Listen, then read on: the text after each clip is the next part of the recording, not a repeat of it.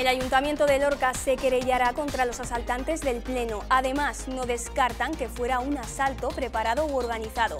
Desde el consistorio también quieren que paguen los autores intelectuales.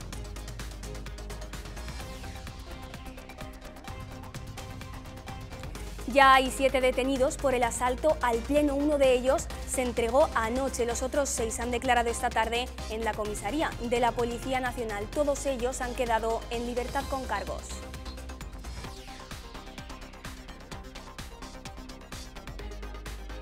Los talleres mecánicos llevan meses en busca de mano de obra cualificada. Las reparaciones han cambiado y la electrónica es ahora la base de los nuevos motores. En los últimos meses el trabajo ha crecido en un 20%.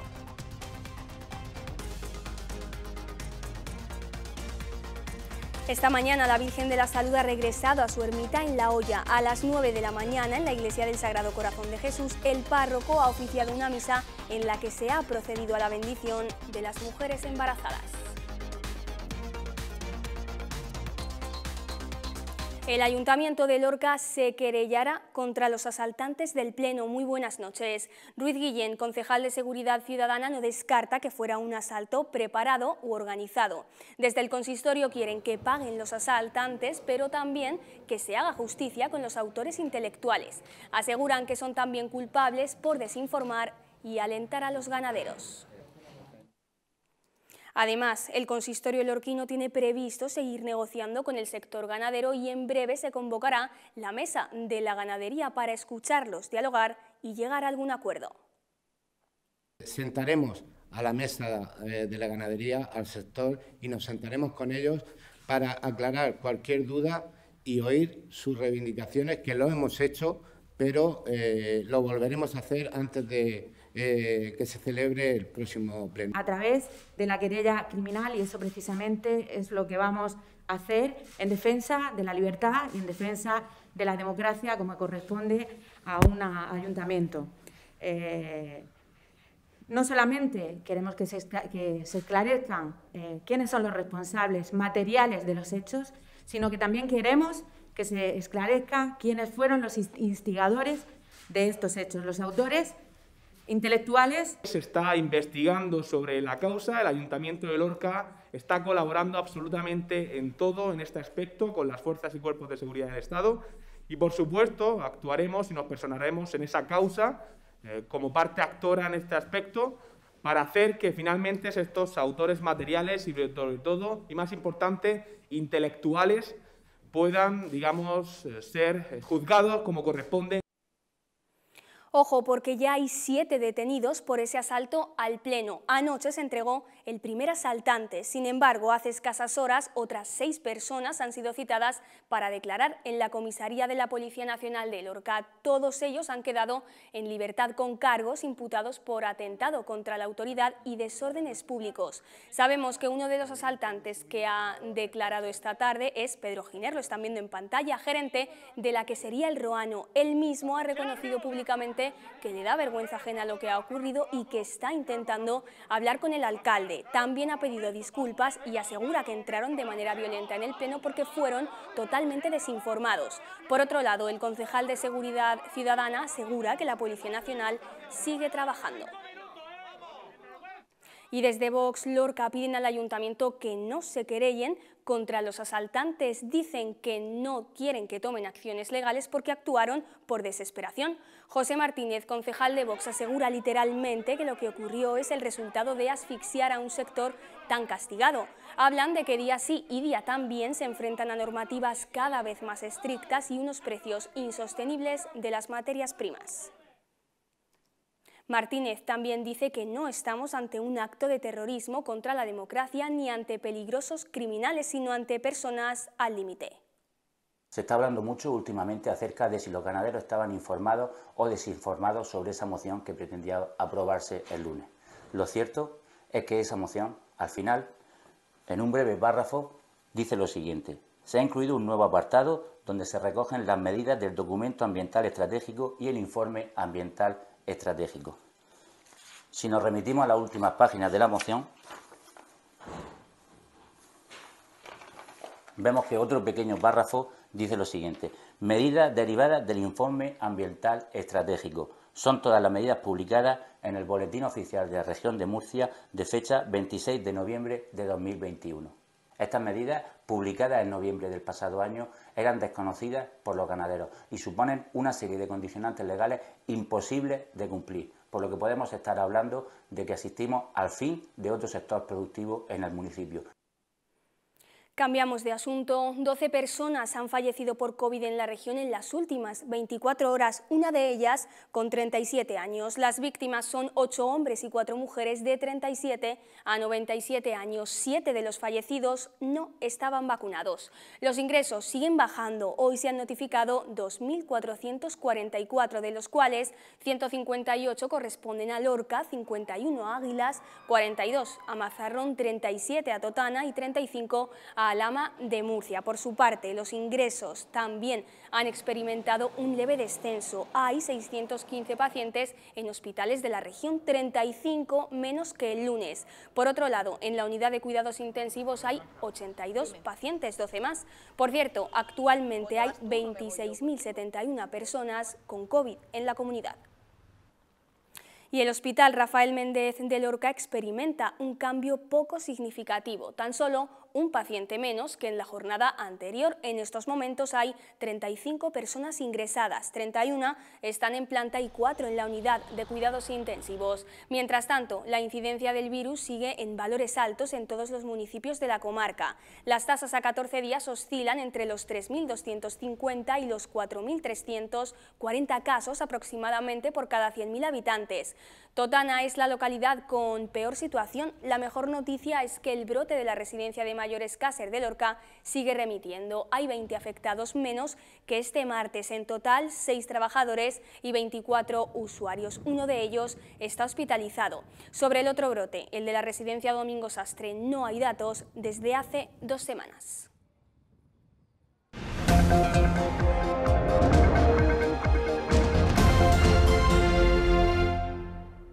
Desde el Partido Popular de Lorca reclaman celeridad al actual gobierno local para ceder los terrenos que permitan la ampliación y mejora del centro de salud de San Diego. Aseguran que cuanto antes se completen los trámites, antes comenzarán las obras. Desde la formación política creen que esta ampliación supondría un alivio en la presión asistencial. Maite Martínez, concejala del Partido Popular, ha querido recordar que el presupuesto regional para este año ya incluye las partidas económicas para la redacción tanto de la ampliación de San Diego como la construcción del Centro de Salud de San Cristóbal. Sin embargo, insisten en que primero es necesario que el ayuntamiento pues, ceda los terrenos.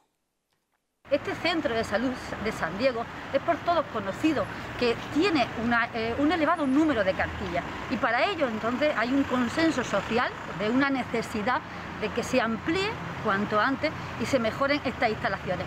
Por eso queremos que el alcalde del PSOE, de Lorca, ceda cuanto antes a la Consejería de Salud los terrenos y la parcela pertinente en este sentido.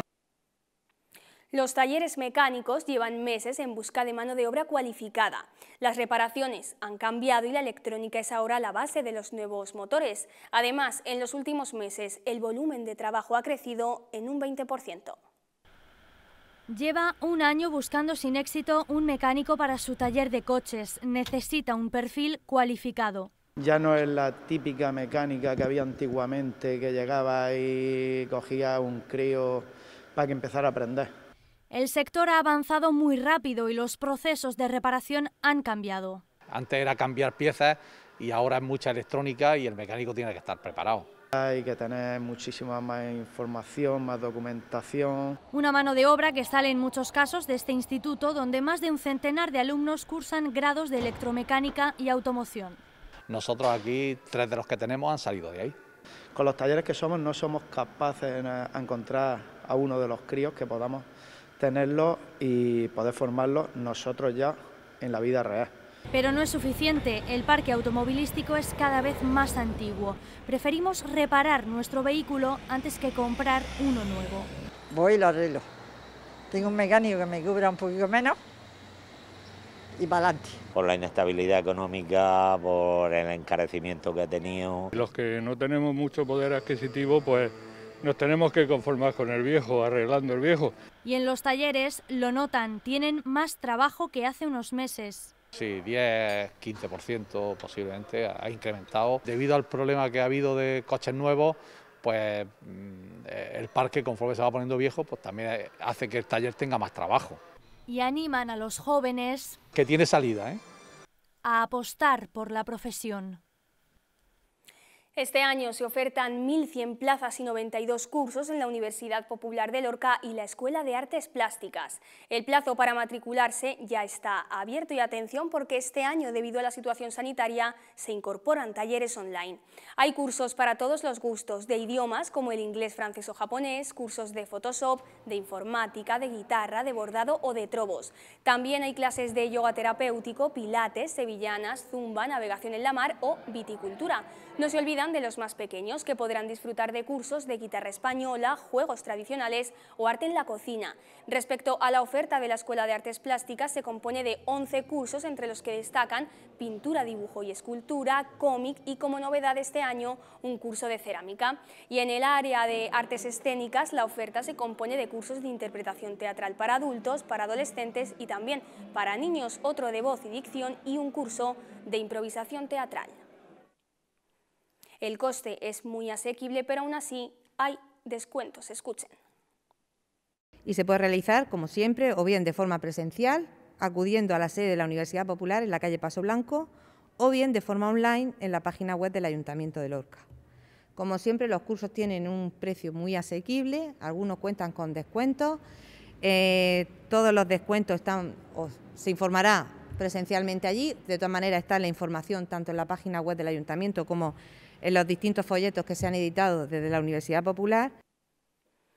Y mañana da comienzo la programación de Cineclub Paradiso. Entre las películas podremos disfrutar de Siempre Contigo, La Mujer Espía, La Hija, Libertad o Titán.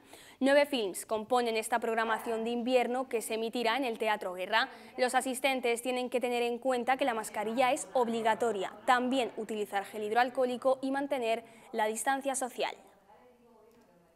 Muy atentos porque también podremos disfrutar de la última película de Peter Bogdanovich, de la ruleta de la fortuna y la fantasía o del film Sueños de un escritor en Nueva York. Ahora, después de estos dos años prácticamente de parón de todo, creemos que la Filmoteca Paradiso pues, todavía tiene eh, más sentido, ¿no? porque todavía hay gente que quiere y prefiere eh, ver las cosas en su casa. Bueno, pues eh, ahora vamos a de alguna manera actualizar la filmoteca que llevaba unos años por diversas circunstancias sin actualizarse. Estos 12 años pues hemos donado más de 250 películas. Eh, la última aportación que vamos a hacer van a ser estas 50 que corresponden, como ha dicho Jesús, a, lo último, a la programación de los últimos cuatro años. Y, y según nos comentan desde la biblioteca, pues aunque lo que es retirar, alquilar o, coger el préstamo de, películas ha bajado mucho por el tema de las plataformas, las películas que nosotros donamos siguen siendo las que más se, prestan. Queremos sobre todo animar, animar a, todos los aficionados a este, al cine a que acudan y que vean eh, esta selección, esta magnífica selección que siempre hace el Cine Club Paradiso para sus ciclos. La Virgen de la Salud ha regresado a su ermita en La Hoya. A las 9 de la mañana, en la iglesia del Sagrado Corazón de Jesús, el párroco ha oficiado una misa en la que se ha procedido a la bendición de las mujeres embarazadas. Después, acompañados por la cuadrilla de La Hoya, han trasladado la imagen hacia el monte. No han faltado los bailes con parrandas, jotas y malagueñas para animar el camino. Bien, cuando la imagen de la patrona ha llegado al santuario, se ha celebrado la misa, una romería atípica porque se han suspendido los tradicionales cantos de Pascua en el interior de la ermita, los bailes de pujas en la puerta del santuario y la subasta de monumental tortada. Y es que por segundo año consecutivo no podremos vivirla como estamos acostumbrados.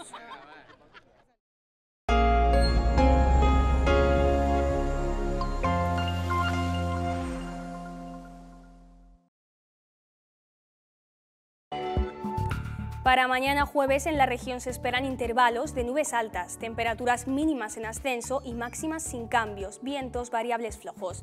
En la ciudad del sol lo están viendo, tendremos un día con sol y nubes, pero las temperaturas serán bastante agradables. Las máximas alcanzarán los 22 grados y las mínimas los 6.